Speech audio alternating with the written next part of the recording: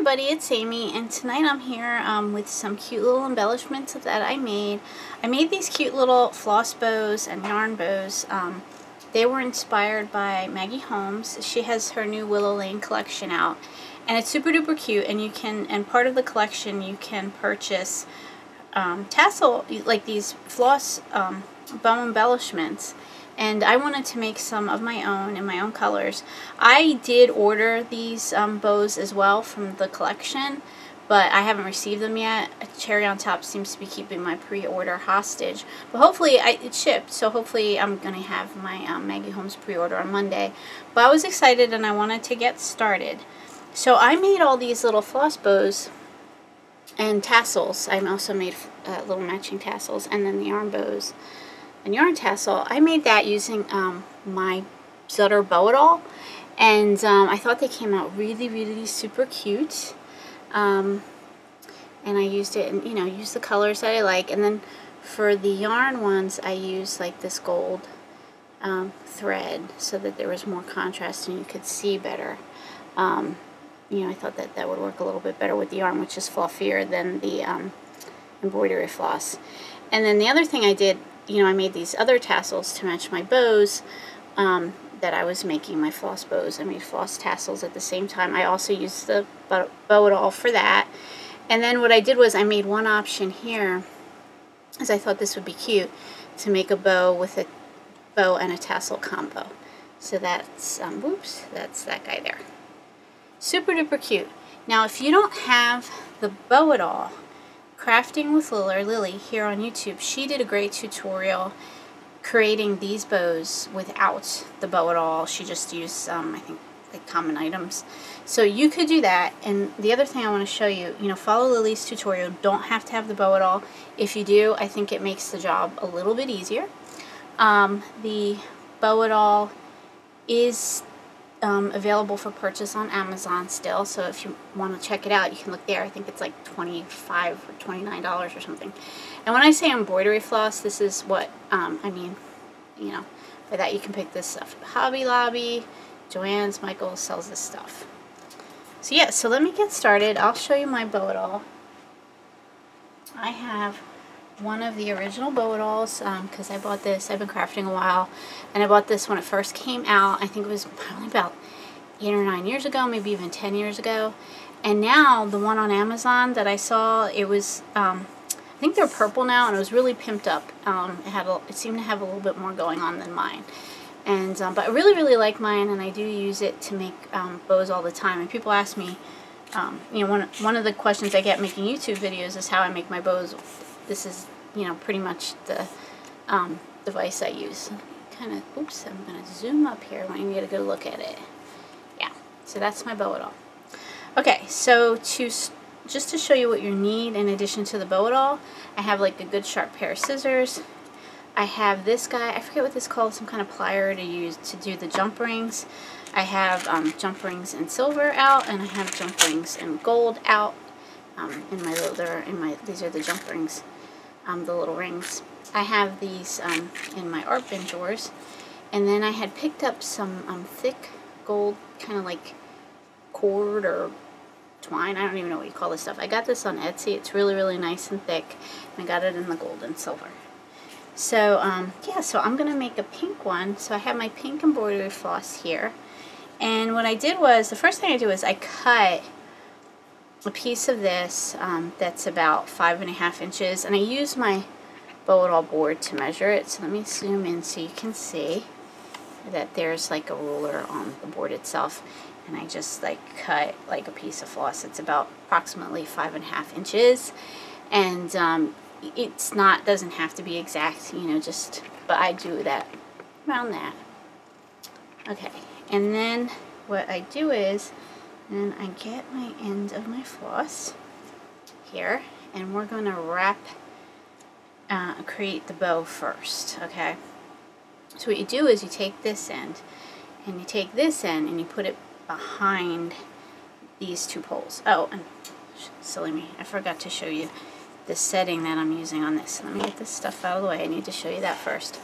Um, the Bow-It-All board comes with these like little um, guys, um, they're stored in the side. So you need two of those and you need to set them at the half inch mark and the two inch mark. That's what I used to do my tassel bows uh, or my floss bows. And um, you can of course use whatever settings you like. That's just the one that I liked for the size that I created and you know, which I thought was cute. And so yeah, so now let's get back to this. So we have our kind of like five and a half inch piece over here. And then we have our uh, embroidery floss over here. And we are taking one end and we're putting it behind these two poles. And I have the other end which is attached to the, to the, over here um, still. I have that to my right.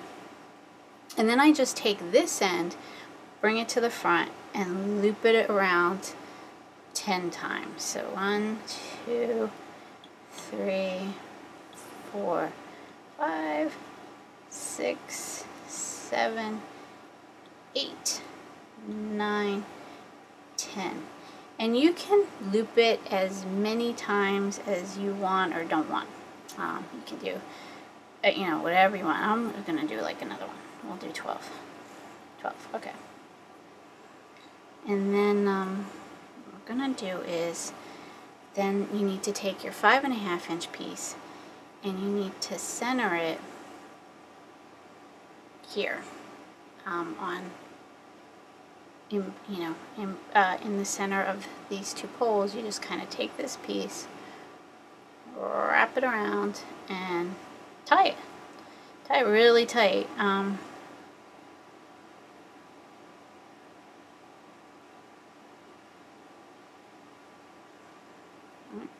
and then I wrap it around, oops sorry oops and wrap it around one more time and tie it again and then at this point I want to make sure that I put my jump ring in there since I'm going to be making this into a bow tassel combo.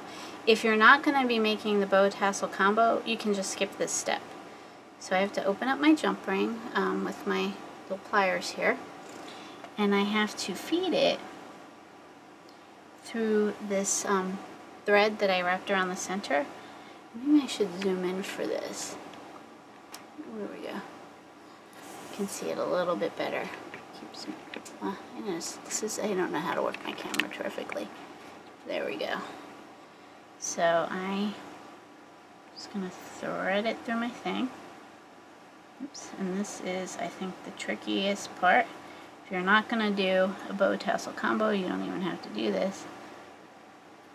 And I just wanna make sure it's around that. And then I'm gonna take this thread again wrap it around again and tie it again but you have to make sure when you're doing it that you wrap it when you're wrapping it that you're through those um, through the jump ring you're wrapping it through the jump ring if you're not again if you're not doing that part it's a lot it's a little bit easier you don't have to worry about that you just wrap it around a couple of times and tie it like I said, this Bow-It-All, like having these poles holding this up, I think it makes the job so much easier. So yeah, so I wrap, had wrapped this around a couple of times. Now I want to tie this good, a couple, you know, make a couple of knots so that this is nice and firm. And I am going to kind of wrap that up a little bit. I'm going to close my jump ring since I'm done tying.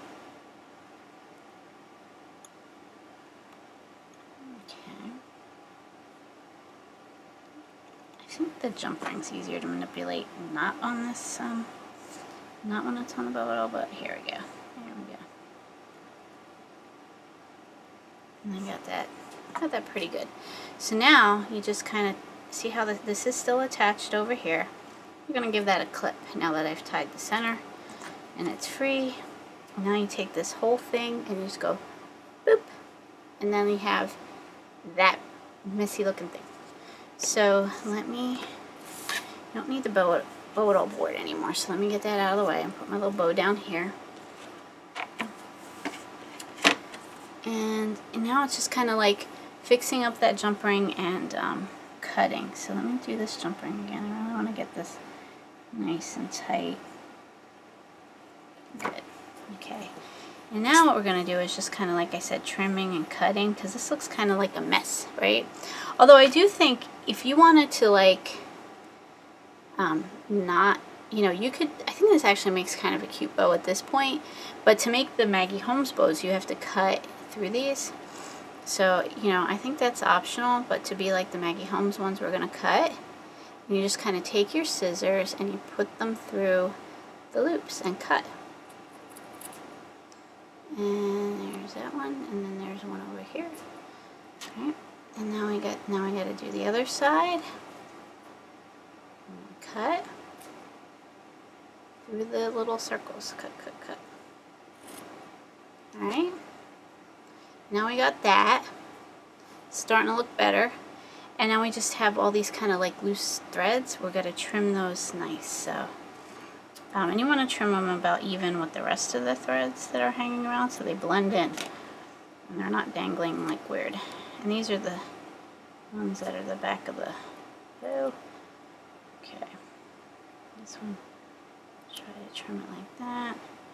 And this one we're going to see where's this one. This one's part of this. And we're to trim this pretty, um, pretty short this one real short.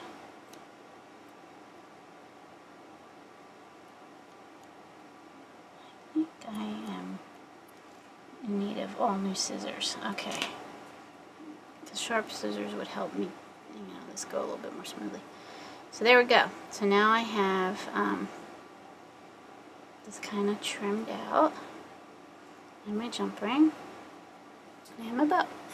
So we're going to take these scraps away and just kind of check out our work here, see how it's going. I think it looks pretty good.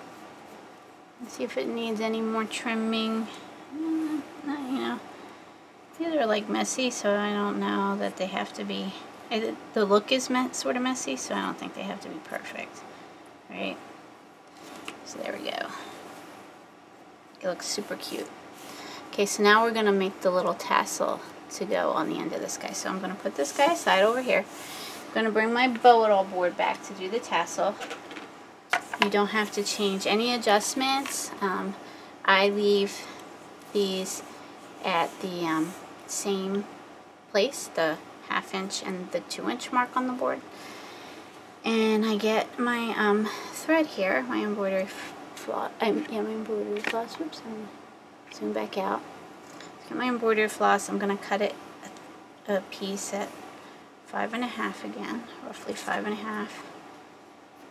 And we're going to set that aside. And then I need to do um, 10 to 12 loops again, or as many as you want, or don't, you know, don't want. It's really up to you. So we're going to take it, same as before, you know, just loop it the 12 times, the 10 to 12 times.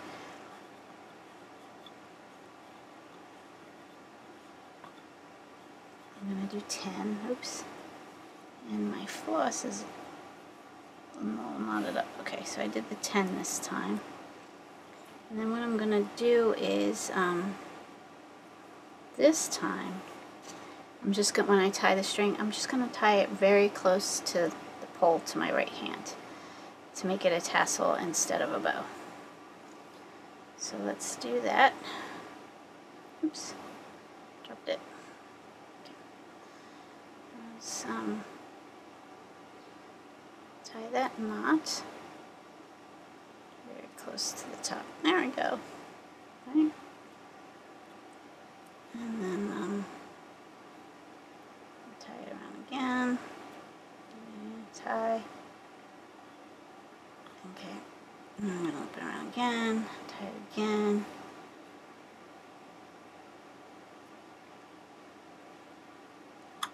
I'm going to double knot it for the last one. Okay.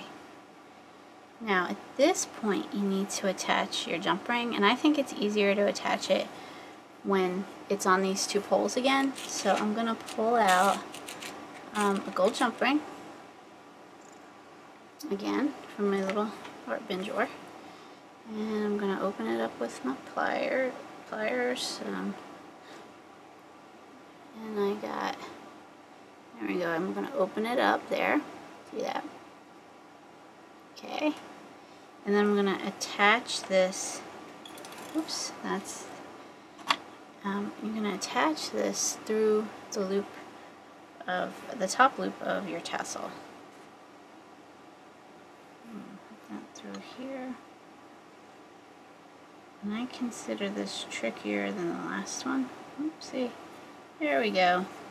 And through the top loop. This piece is kind of in my way, so I'm going to pull that out of the way. This thread got in my way. Okay. There we go. Now that's in there, and now I need to close it up.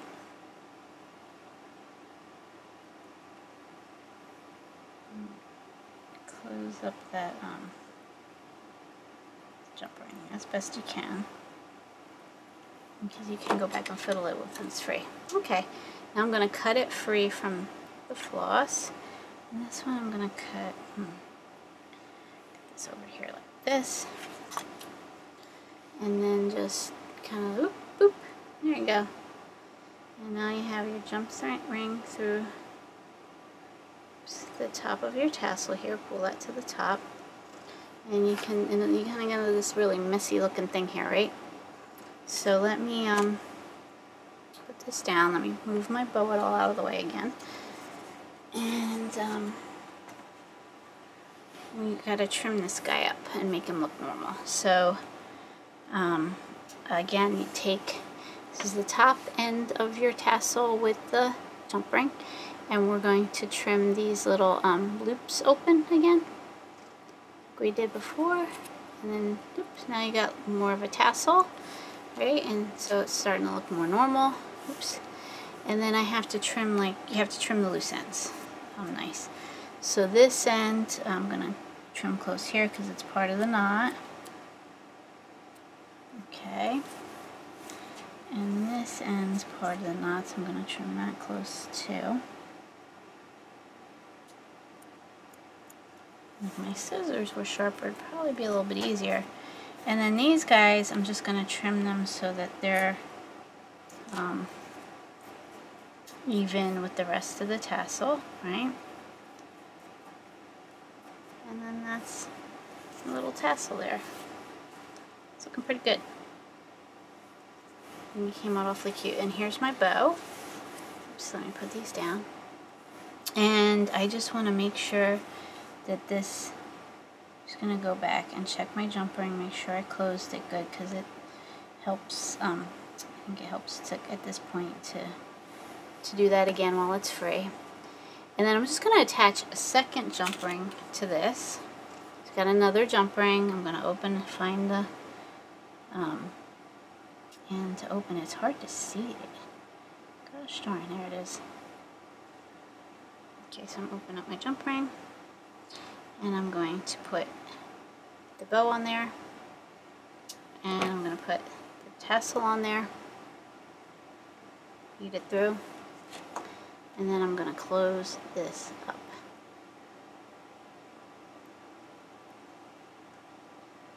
good okay and there we go and that come out very it comes out so super cute Love it. So here, let me put it on my plate over here with my other ones that I created. You can see how cute they turn out. Yeah. And if you want, I can make one of the um, yarn ones just so you can see, but it's the same, the same process. Um, I'll make a yarn bow. Silver. So I just have some, um, zoom out. Just have some um, basic yarn here and I am going to loop this around like about 10 times again. One, so starting out like this. One, oh wait, sorry, I need to cut the, the five and a half inch. No, I don't need to do that because I'm going to use the, sorry, I'm jumping all over the place. I am going to use the silver thread this time. I'm going to make a silver one. And I'm going to cut five and a half inches or six inches about of this stuff. So yeah, do that because that's gonna I'm gonna use that to tie the center And then I am going to wrap this around 10 times.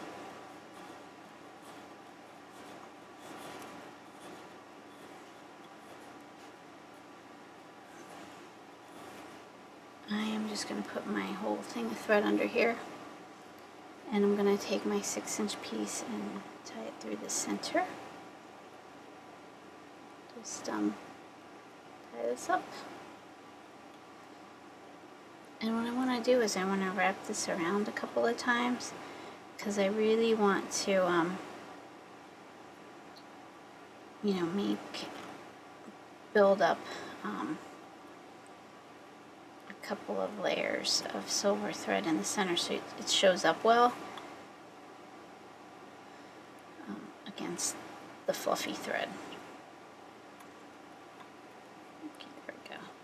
Untie this twice. I'm really kind of tying tight.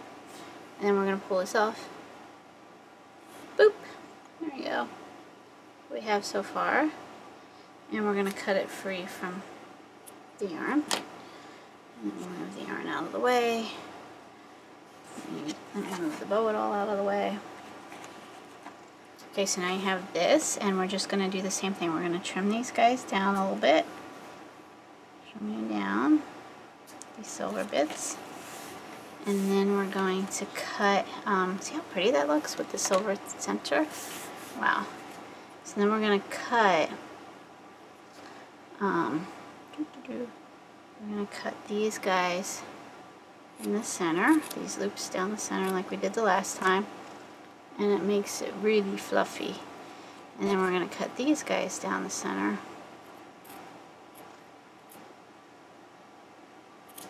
on this side, the other side. Really, really cute. And then we're going to cut these guys roughly equal with the other ones so that they blend in good this bow. How cute is that? So yeah, so there we go. And um, yeah. These, and then with these guys like this, I don't have the same color, but they would obviously look, wanted to jump ring it, you know, they would look cute to have the cream and the um, aqua, or you can just do aqua and aqua and cream and cream, whatever you want to do. But yeah, I thought these came out so cute. And um, yeah, um, thank you so much for watching. And if you have any questions, leave them below. Um, and have a great day. Bye.